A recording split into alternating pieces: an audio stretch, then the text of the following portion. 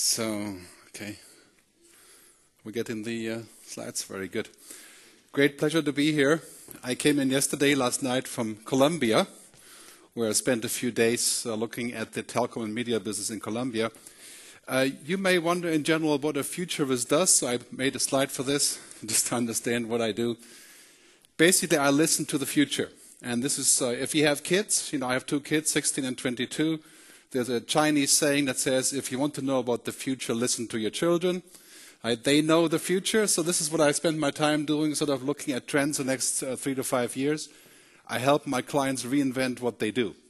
There's lots of companies that we work with, media companies, technology companies, brands, and so on, trying to help them to sort of reposition for the future. Uh, I'm on Twitter, G. Leonhard, so if you want to tweet something, I'll answer the question later. I will also post a PDF of my slideshow on Twitter later that you can download directly sometime this morning. So, you may know this guy, Marshall McLuhan, 1971. Right? Marshall McLuhan effectively predicted social media. He was talking about how uh, technology is creating sort of a global village, which is kind of funny because when we look at Facebook or Twitter or YouTube, you know, we have in effect the global village. But he said something very important. He said, essentially, it is a framework that changes, not the picture. So when we talk about social media today, we shouldn't talk about, you know, if we're going to have a, a Facebook profile or social commerce or whatever you want to call it. Those are just uh, pictures. We have to look at the framework, right? And the framework really is that we're living in a world of disruption. I'm sure you're familiar with this. Uh, basically, on a daily basis, something is being disrupted. The music business, the television business, right? the newspaper business. I mean, we all have papers here on the table now, but will this be in five years? Will it be the same thing? In America, 40% decline of the newspaper business in the last two years, 71% decline of the music business. So I think we can safely say that whatever happens in media will happen to marketing. And there's quite a few people saying that actually we don't really need marketing if we have the internet. I don't know if that's correct or not, but because we can make a connection, right? We didn't have this before. We couldn't make a direct connection. Now we do. I'm getting excited, so I'm going to take my jacket off. Okay. Uh, basically, I think we're at the tip of the iceberg as far, as far as marketing is concerned. We're only here we feel already quite disrupted. You know, when you're looking at all the changes in marketing, there's roughly $1 trillion budget. Marketing, advertising, data mining, public relations is shifting over to digital. Right? There's lots and lots of changes coming in this direction. But this is one motif that we're seeing across the, uh, the entire media and marketing industries is the, the sort of controlling entity is no longer us, the companies, the businesses. It's the user themselves, right? This is a very big change. I mean, for example, now if you sit at the gate somewhere at an airport, if you're using an app called Flight Tracker on your mobile phone, you will know more about the flight that's departing than the woman at the gate. Okay? So they don't care, they don't want to know. But anyway, you could tell if the flight was canceled before the woman at the gate would know just by monitoring your flight on Flight Tracker. If you use TripAdvisor, in Germany, if you put your mobile phone on the table before you eat, and you're bringing up the TripAdvisor app, you will guaranteed to get better service. Because people see that you have the app, you have the power to say something. Right? That makes a big difference. So now this idea of a captive customer, you know, we use in marketing often the sort of military terms, you know, campaigns, uh, uh, implementation, uh, captive things, you know. So this is, I think it's ending. We're basically going to a system failure if we're looking to capture people and to tie them down. I mean, for example, iTunes. Right? You guys use iTunes for buying music? Okay, some people do still. Okay, it's about 18 billion downloads in the last eight years. But iTunes is essentially a captive system.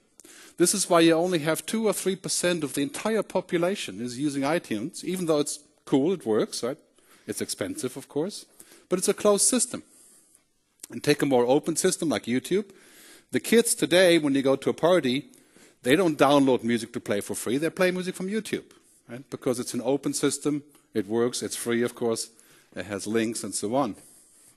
So We could safely say, I think, old style marketing was sort of like this, a, quite a simple game, right? A chess game with two pieces. You know, a product, the user, play the game. Now we have a game like this, to where we can say now the users are all on one side, and here's us on the other side trying to create a, a new kind of chess game. Right? There's quite a difference there. I think the difference really is user control. Right. Of course, this is not new to us, but really, what, what does it mean when the user has control over what we're doing, spreading the message or changing something? For example, in television, where I do quite a bit of work, we have the rise of what we call social TV. Okay? This is television where people are connecting to each other. 42% of Americans are on the internet doing something else while they watch TV. There's probably quite a few people in Norway doing the same thing, you know, Facebook or Twitter or whatever you're doing while you're watching TV. But this is the biggest trend is that we do other things while we watch TV. In the UK, there's an app called ITV Live. It's part of ITV. And while you're watching the show, people are actually talking about it and twittering more than ever before at the same time while they're watching. And really, this is what happens. You know, we're creating mountains of data about the content. Right? We're commenting. We're actually doing stuff. Um, and then, of course, it's mobile and it's you know sort of on a global level to where we're all connecting. So social TV, you know, this is basically the biggest trend in television right now. The challenge is, of course, connected TV, social TV will also require connected marketing. In other words, if we're disconnected brands and we have connected marketing, then there's, there's a disconnect. Right? Why would she want to connect with users if you're not really interested in talking? This is a very big problem, of course, because now we're all talking about social media, social marketing, whatever that means, but we're not really ready to connect, right? I mean, this television allows, this is a Samsung television, allows us to install widgets where we can do other stuff. Somebody's at the dentist here next door, I think, or something. But we're actually not doing this in real life. We're not actually connecting in the same way. This, I think, is a very, very big issue in the future. So if you're seeing what's working out in the last sort of 10 to 15 years is the web native stuff. Right? Things that start with the internet. And I, you know, I work a lot with clients who are old world clients, right? And they're like, this is not their world, right? Web native, for example, is a very simple example. Uh, web native is the BBC iPlayer in England, right? Where you can watch all the TV shows wherever you are. If you're a British citizen, you can watch catch-up television, right? That's a web native idea. This app has 20% of the entire internet traffic in the UK at times, especially in the evening, right? And of course, it's publicly funded, so it's a little bit easier. Flipboard, many of you may be using Flipboard, right? On the iPad to read news. So starting with the internet, for example, Amazon, the Kindle, which now sells more books on the Kindle than in print. Right? This is how quickly it went in just two or three years. Right? The Kindle allows me to share my comments on books with other readers. This wouldn't be possible in real life. I mean, with real books, I'd have to send a fax or do something, write it down somewhere, right? So I think today uh, a lot of success is primarily based on the question, can it be web native? Can it only work because we're connected?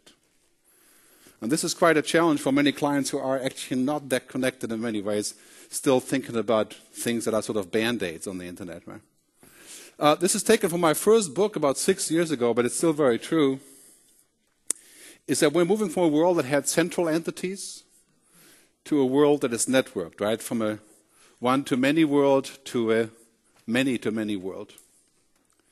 And I can attest to you right now, of course, the one to many won't go away. We'll have television, we'll have big companies, we'll have big banks, we'll have big government. That won't go away. But the many to many world is, is exploding with activities. And this is one thing that's kind of worrying because the many to many world is quite chaotic. It's noisy. Right? All these things are happening at the same time. This is very much a challenge, I think, if you're not 15, it's a challenge to deal with all the stuff that comes down on you at all times, at the many to many world. As Marshall McLuhan said in 1971, the global village is not peace, harmony, and quiet. It's actually quite a chaos. Right? I mean, Twitter, for example, is the, the ultimate example of chaos, right? of noise. How do you filter this? How do you deal with the multitude of opinions there? But I think very soon noise making won't work. Because quite simply, we're not paying much attention to the noise any longer. Television advertising or newspaper advertising was kind of noise that we couldn't get rid of. Right? I mean, we'll go through the newspaper, we're going to look at the ads one way or the other. But on the mobile phone, would we accept somebody intercepting us and pitching us with stuff that we don't want? Probably not. Right? We want to get rid of the noise. So here's a couple of things about the future that I have compiled. I think most importantly, I think advertising is essentially becoming content. I mean, if you're looking back at the really interesting ads that we've seen in the last few years, they're not really ads in the, in the, in the sense of saying, buy this, right? They're actually content. I mean, it goes, goes back to what, seven years ago, BMWFilms.com, if you remember. Right? A film series, no logos at all, just, just the cars. Advertising is becoming content, and marketing is curation. Curation of ideas, curation of the process, curation of what we like, connecting people with ideas. Brands become publishers, that's kind of obvious. That's also obvious. But if you take all these five things together, then you can safely say this is sort of a pretty serious reboot. Right? Because marketing used to be about, you know, basically trying to find a way to sell something, to pitch something, to find the right target crowd. Now it's like a creative process. Now it's content, essentially. So marketers are content producers now. Maybe content producers are also marketers now. Lady Gaga, month ago, she came up with this game called Gagaville. You guys know Farmville? I hope you don't know Farmville. It's, it's addictive. Your kids probably do, right? $350 million revenues last year by buying virtual tractors and flowers on Farmville. I've bought a few. So I have a big tractor and carrots, nice juicy carrots. But Lady Gaga now has a game called Gagaville. Right? And you could argue this is, this is a game, but it's basically content. Right? It's about what she does. Will we have Audiville? In the future? Probably. We already do, right? We have lots of apps you could download from Audi, which are essentially a bit like Audiville. Right? So, Kleiner Perkins, the original investor in Facebook, they summarized what's happening around the web a year ago. Mary Meeker said it's about social, it's about local, and it's about mobile. Solo Mo.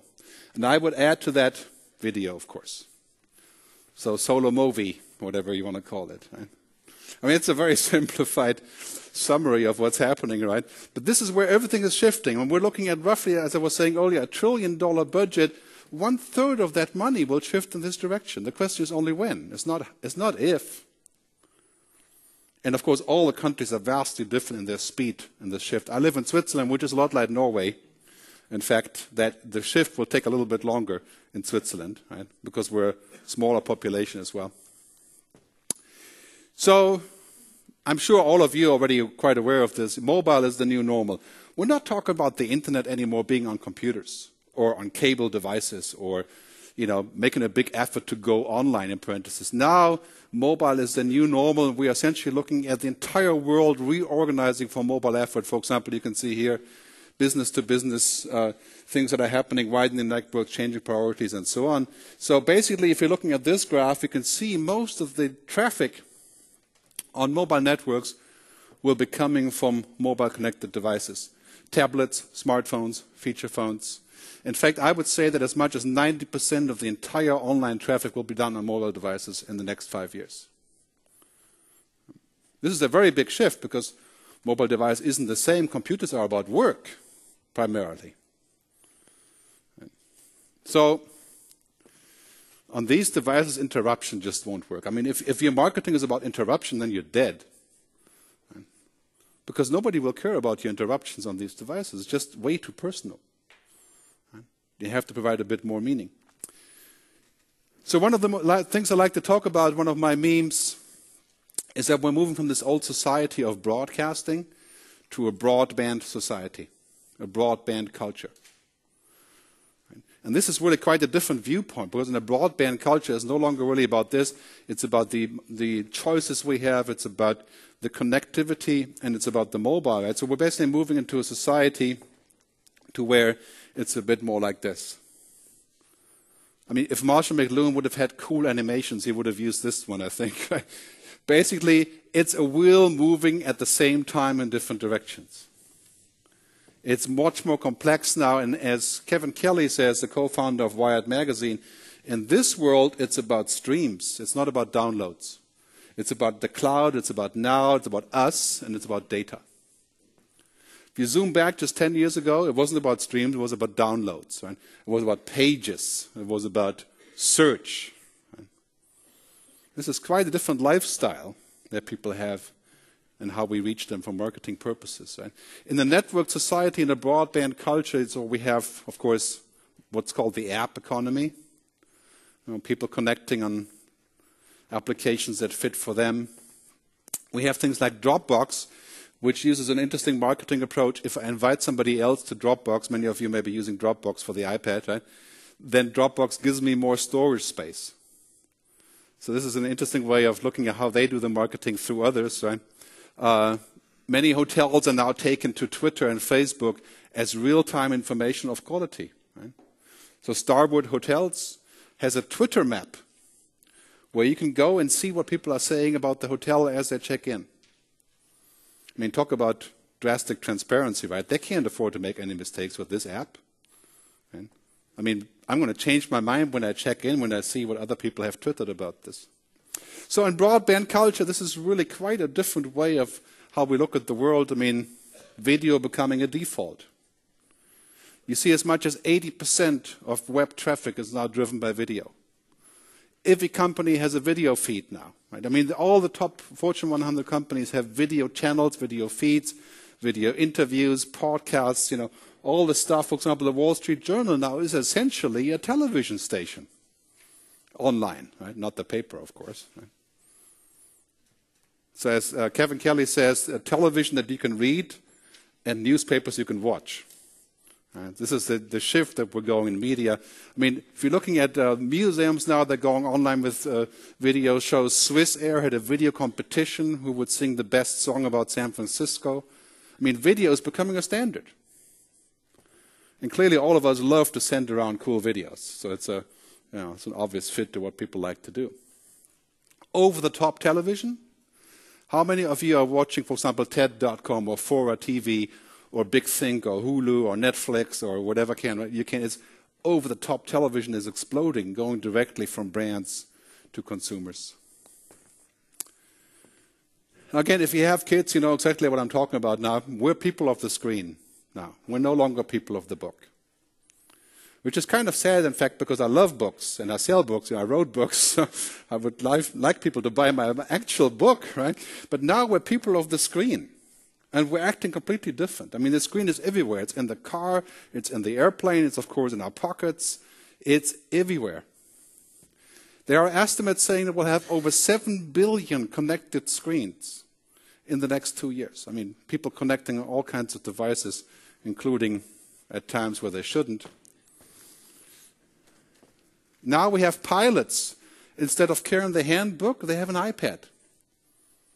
And of course, they're doing other things on the iPad as well, right? because it's connected. Right?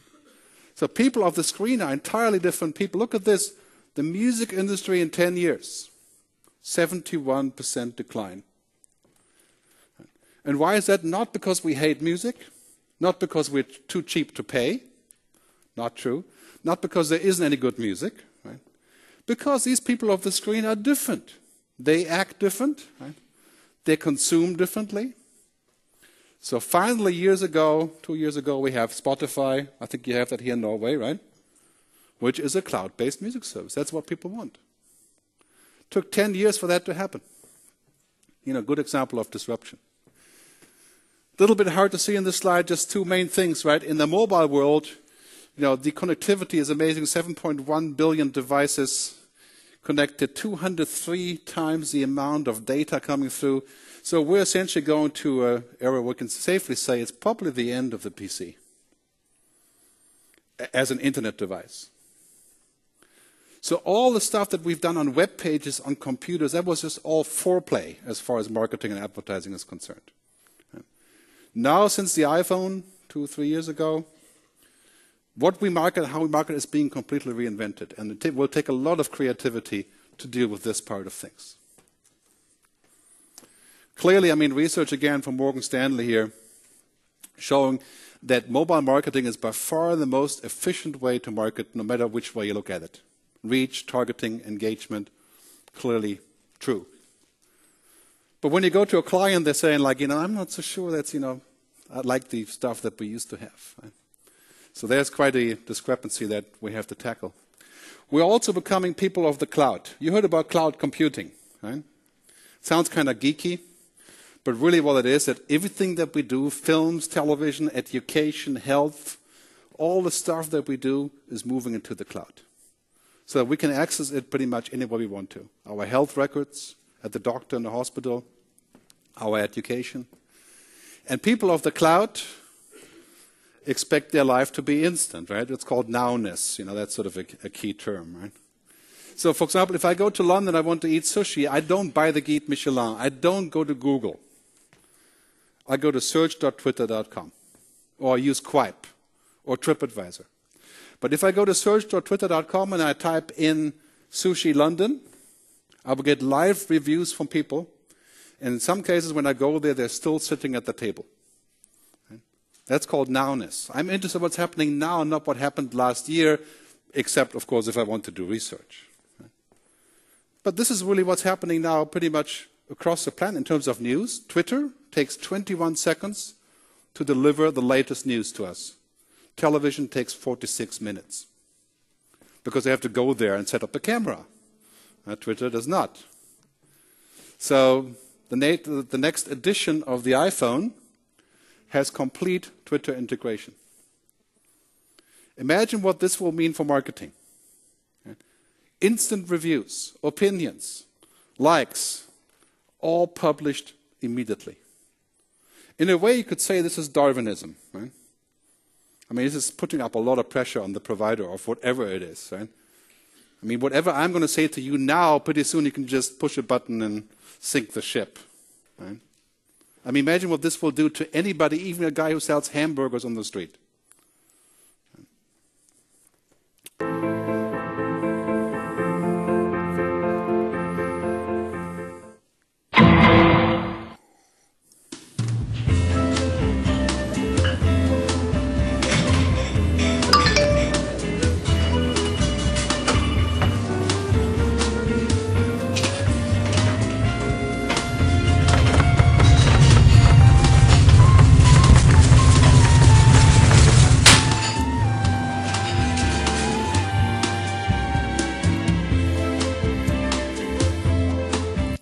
The latest Twitter commercial, right, basically says that you can find out about the earthquake before it arrives on your end, right?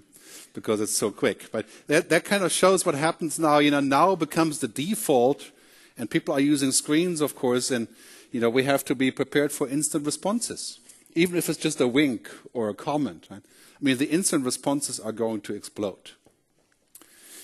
I will touch on this a little bit later, but one of the things that it really means is that we are pretty much at the end of lying.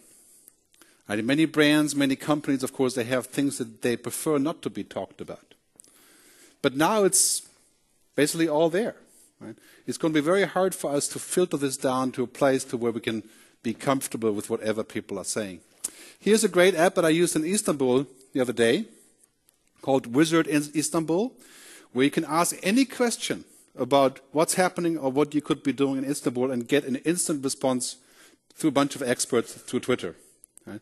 So it's like a live service. You can ask, you know, this restaurant open or what is the rating and so on. Right? It's basically this whole idea of personalization of content, location. Right? That's becoming a standard. Here's a television app that you can use on a Samsung TV to put together your customized car, a car configurator. This used to be geek stuff on Facebook or on an app, right? Now it's going to be on television. So you can watch a movie where the car is used in the movie, and then if, when you're done, you can configure your car and have it sent to you with an offer or a test drive.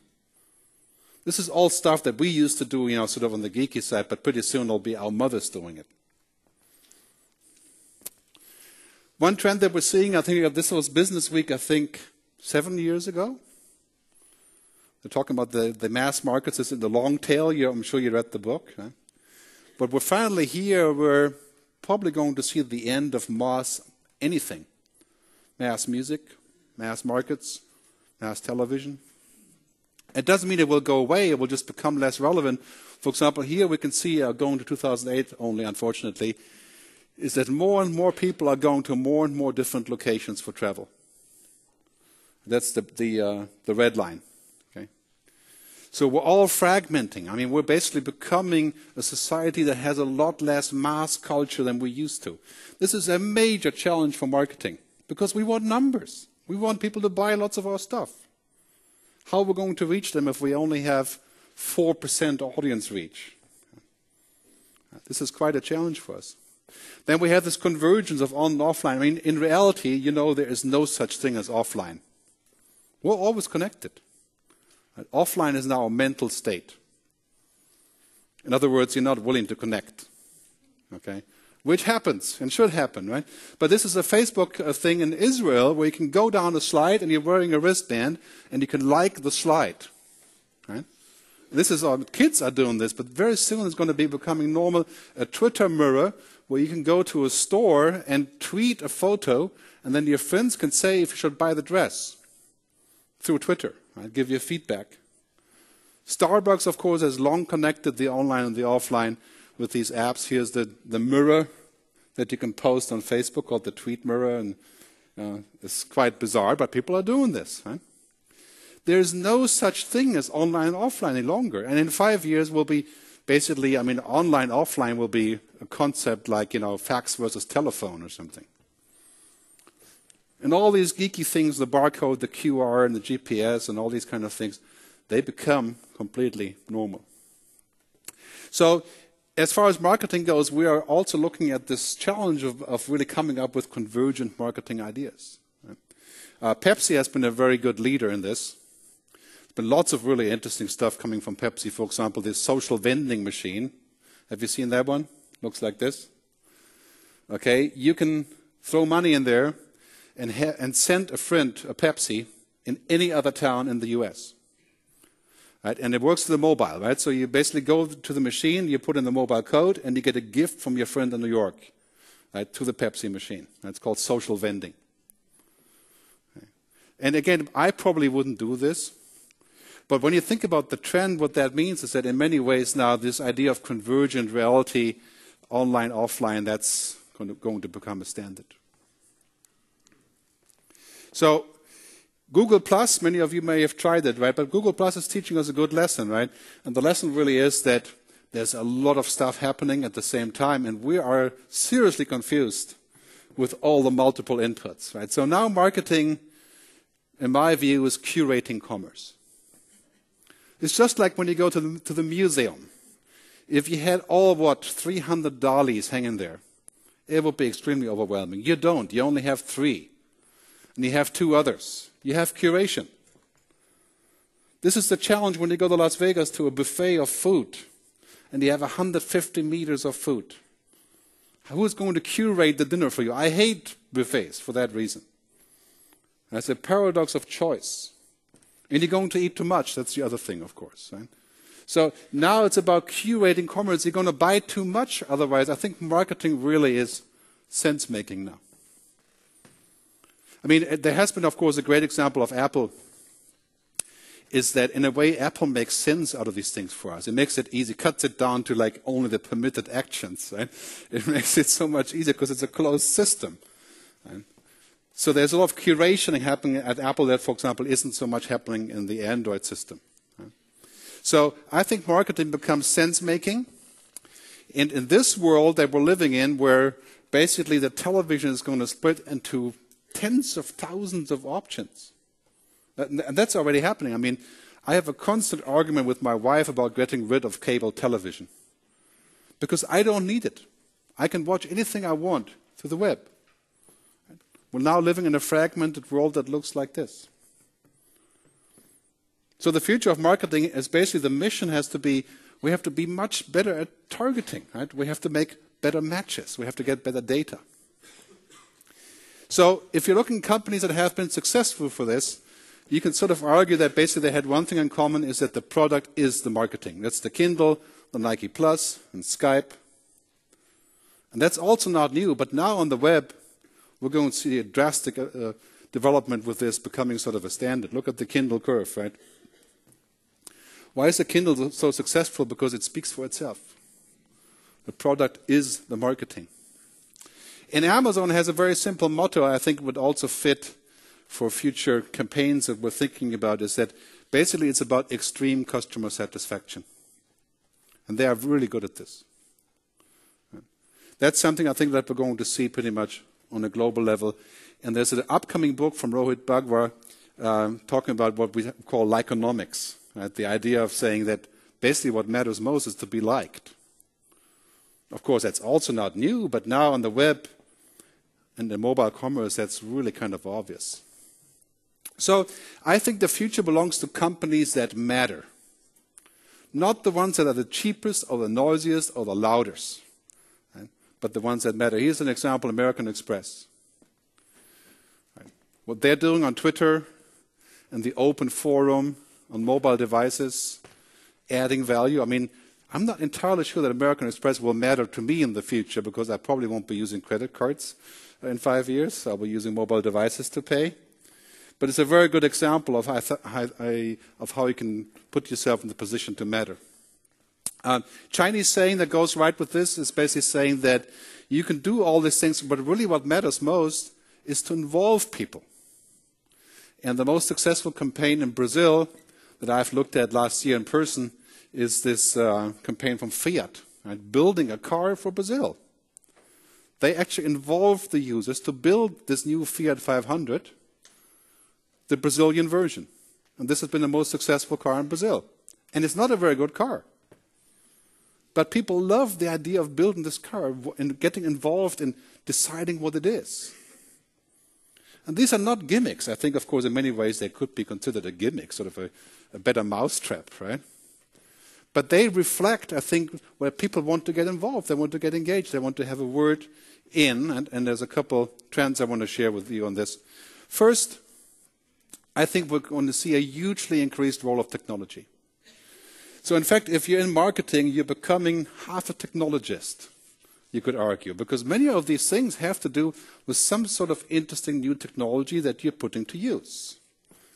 And this is actually quite hard when you think about that. Marketing usually is not the same thing as knowing about geeky stuff.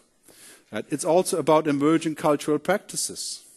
Here you see a guy who's using a QR code, a quick response code, right, uh, or several people to scan products, right? But of course, if you were in the restaurant scanning your wine bottles QR, you would be considered to be kind of weird. Right? But in Japan, for example, when you go on a date, it means nothing to scan the face of a woman and pull up her social network profile. It's normal, right? To decide if you want to continue the conversation. Right? That would be extremely strange here. So these are cultural things. But if you want to know where the future is going, look for emerging cultural practices. I think that's quite obvious. I mean, all this stuff is going to happen. The question is, of course, in which context and which culture it becomes acceptable. The new iPhone will have a feature called the recognizer. This is already widely put in place, okay? Basically what it means is that all of us that have any web page, any Facebook profile, any corporate web page, any Twitter, anything will be recognized automatically by whoever wants to. This is a very scary thought, right? But this technology exists already. I mean, the idea of being recognized does have its merits, but it also has issues that we in Europe are saying, like, oh, I'm not so sure I want people to scan me everywhere I go and pull up my profiles. Right? So that's a big issue, I think, privacy. And then we have, of course, the fact that consumers are using more and more technology. As you can see here with BlackBerry, right? this is BlackBerry's biggest problem. They're looking towards business, but people are looking towards you know, personal use of devices. Right? So you see, for example, what they're selling in terms of consumers. I mean, this is the problem for BlackBerry, total decline in the business market. Right? Very good example for looking in the wrong, barking up the wrong tree, you could say. Now we have consumers using what businesses used to use, cloud computing, mobile devices, right? You have consumers using hardcore technology. So now, because of this, the consumer becomes this really interesting individual. You could say, actually, I, I, sometimes call them the people formerly known as consumers. Because now they're all of these things. They're producers, they're participants, they're community, depending on who you talk to. The most common question I get from people is saying, like, okay, is this right or wrong? Should we do this or should we do that? Right? And the question I have to give many times is like, it depends. I mean, this is a, an honest answer, right? In the fact that you probably can make very few rules now about what could work and what couldn't, given that consumers are starting to look like this. So this is, I think, a benefit for us as people is that there is going to be a lot more roles for human creativity. We can use machines to do all kinds of things, data mining and matching and all these things, but in the end, it will come down to a creative act. Right? Something that tries to figure out what exactly is the frame that we're trying to catch. It also comes down to good storytelling. And I think this is a great news, I think, for us in this business. Despite all the technology, all the data mining, all of the machine intelligence, right, we're going to be much more into storytelling, any which way you look at it. Using, of course, a multimedia, cross-media approach. An Indian saying, which is very true now, in the age of social media, it takes a thousand voices to tell a single story. If you can get a thousand voices to tell your story, you have a big success. And this is actually quite hard to do because how do you get a thousand voices? You can't pay them, right? You can't force them. You can only attract them to tell your story. And that is part of the challenge. So, as part of this uh, development, you probably know the uh, the blend. I think it's called Blendtec, the company, right? Blending iPhones, and you've seen the commercials, right? That's branded content that will explode. American Express again, uh, Marriott, Facebook Games, Pepsi. Right, Pepsi has just launched a new campaign funding uh, 10 new business ideas called the Pepsi10.com. You can go and check it out. But see what, what uh, the chief engagement officer saying of Pepsi is saying we want to become a catalyst in culture rather than just a big brand. This is a, a, pretty substantial claim here, of course. How do you become a catalyst in culture? But humanize brands. Right? We have so many machines, so much artificial intelligence, so much technology that now we're interested in humanized brands right? and something that becomes tangible. Then we're going to face this major shift in the next three years automated translation. I've seen it work already at the Google Labs. But basically, what it means is that I can speak to you in German, you'll hear it in whatever, whatever language you're interested in, whether it's uh, Chinese or Norwegian or whatever, in real time, text and spoken. That means, for example, television. I can watch any television ad in whatever language I want to see in the next three years. This is a major shift that's going to happen in the next three years. A uh, Microsoft commercial on the same topic a girl speaking in English, a boy seeing it in Thai. You can see that or look at it or use it on a web page. I mean, already works on web pages. And this is a major shift, I think, for media. When you think about, for example, in Norway, people speak Norwegian in Norway, right, but not in South Africa. So in three years, people can read your Norwegian content anywhere in the world in whatever language. Major shift there. Augmented reality is the next GPS, next car navigation.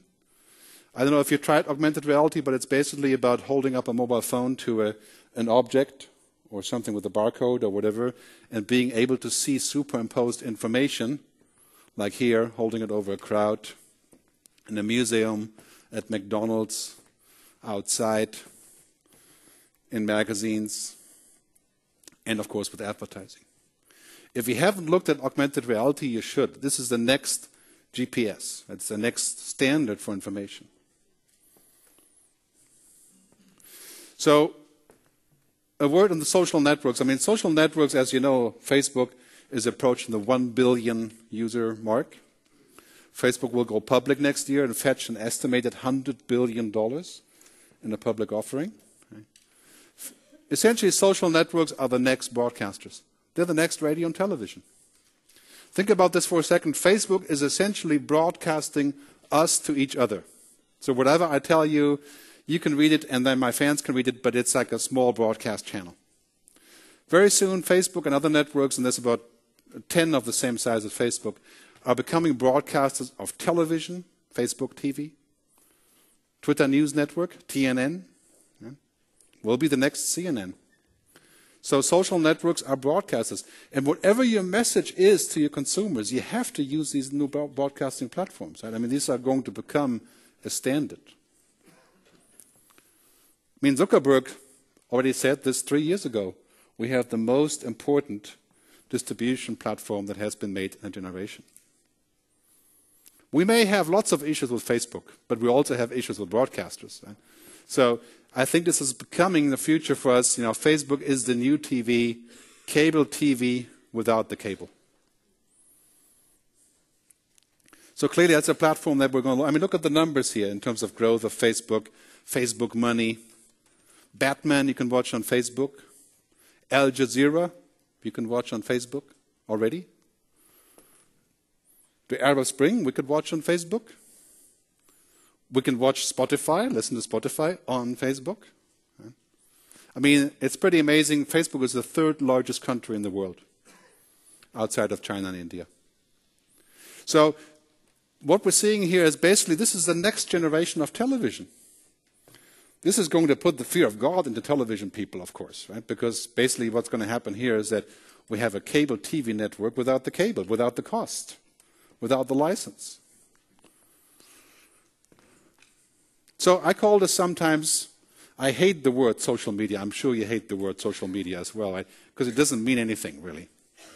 But really, what we're talking about here is it's a social operating system, a social OS It's the way that we connect to each other is becoming fundamentally social.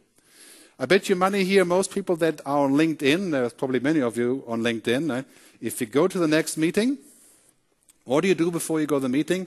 You check out the guy's profile on LinkedIn or on Facebook. That's called a social operating system because you're going to see some stuff. This person went to school in Oslo or in New York or wherever.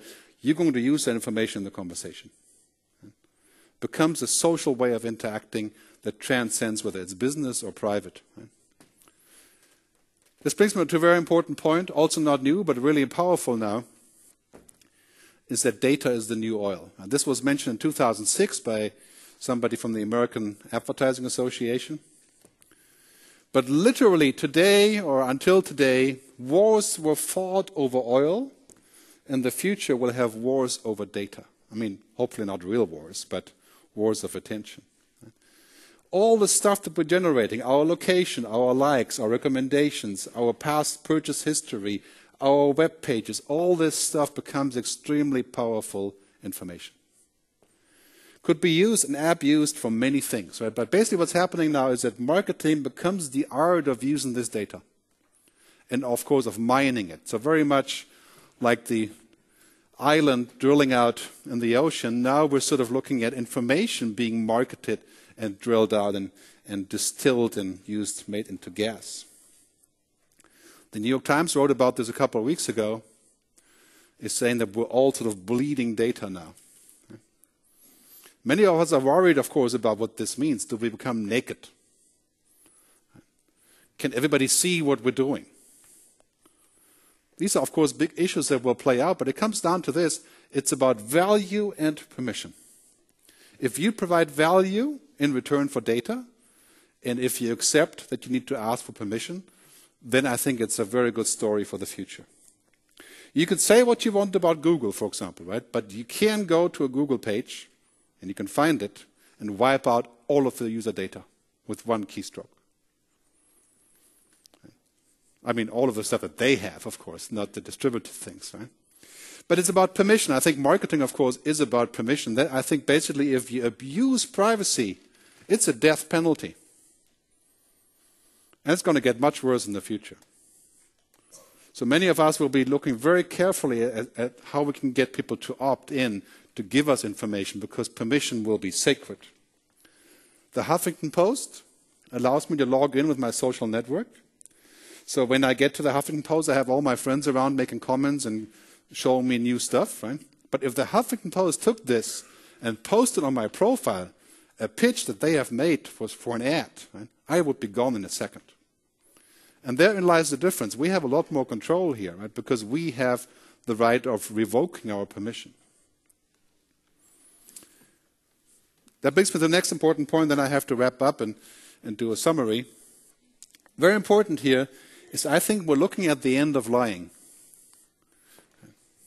And let's be honest, you know, as brands, there's always a little bit of lying that we do because there's a few things that didn't quite work out. I mean, this was just part of life. I mean, I worked in the music industry for a long time, and 90% of that was lying. Right? Is because it doesn't actually pan out. There's things that we don't want in public. I mean, we don't want a constant WikiLeaks around our work. But now, as the reality is that people can look through this and they can say, for example, Domino's Pizza in the US, they realized that essentially they were always pitching how good the pizza was and not a single person was believing it. I mean, basically, looked like this. People talked about Domino's Pizza having the worst pizza ever, like cardboard and so on. So they realized they have to stop lying, they have to actually make a better pizza. So they came up with this, called, the pizza, what is it called? The pizza turnaround. they called the pizza turnaround to reinvent their pizza. They decided not to continue lying and tell people to buy their good pizza, but to actually make a new pizza. And this is a very big trend I think that we're going to see in the future.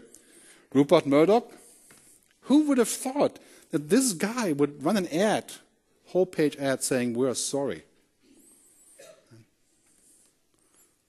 So now it's basically about strong brands will need to practice extreme transparency.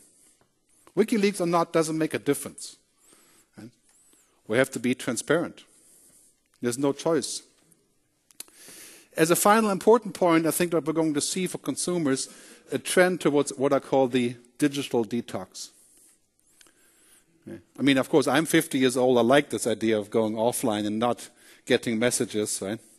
But I think this is a new luxury that people were saying, you know what, I am not going to connect now. In fact, now there's hotels that you can go to, and they guarantee that you can't have a wireless network. You can't get an SMS or use the BlackBerry as blocked, and you pay for that. Remember 10 years ago when we were in hotels, we're saying, "Oh, we can't get online. You guys don't have wireless. You sucks." Yeah?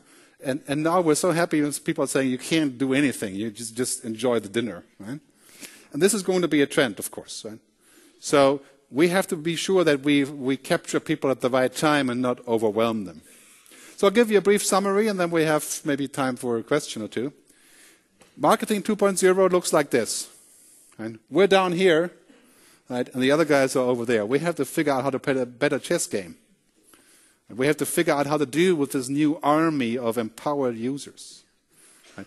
To me, I mean, I work with lots of brands on this topic. I think every time you can empower the consumer with a better product, a better campaign, or some sort of involvement, you're always better off. The key question is whether the client can do it, right? If they actually are believing the story that they have to empower the consumer. This is a big change, of course. We're living now in a many to many world. Again, this doesn't mean that one to many is going away. It's not. We watch YouTube and we have MTV. Right? But think about the relative importance of MTV today. Right? Is MTV the place where you find new music? No. Maybe for some people it is, but now it's YouTube. But we still have both. Social, local, mobile. That's sort of like the roadmap for the future. Again, I estimate between 30 and 40% of all funds for campaigns, for marketing, to shift in this direction. I mean, this is going to be a tidal wave of change in terms of our creativity and what we do. Brands that can change, people want brands that can change. They can say that we're sorry. You know, we messed up, we'll give you something. I mean, Amazon is great at this, right? They bought Zappos, one of the most important companies in this term. I mean, brands that can change are what people like. Data is the new oil. This is a top line topic, right? Because, I mean, we're looking at a situation where, where data is becoming essentially the kingmaker. Then it's about value and permission. So marketing to people doesn't mean marketing, you know, yelling at them. It means getting permission to use what they do. To me, marketing becomes more like sense making rather than a uh, support of selling. The end of mass anything. This is probably our toughest challenge because we like mass markets and big numbers, right? But now it's all about niches and success in niches. Likeonomics. I'm looking forward to his book. I don't really know what the book says. I just love the term, but I think his book is coming out sometime later this year. But it's a very good term, I think, to think about marketing in the future. And the summary from the beginning advertising is content, marketing is curation. I think that's what we're going to see in the very near future. I want to thank you very much for your attention. And um, I do have a bunch of stuff on the web. My apps are free. All my books can be downloaded for free just go to mediafuturist.com or Google GERD, G-E-R-D, and free PDF, and you'll find my stuff. Thanks very much.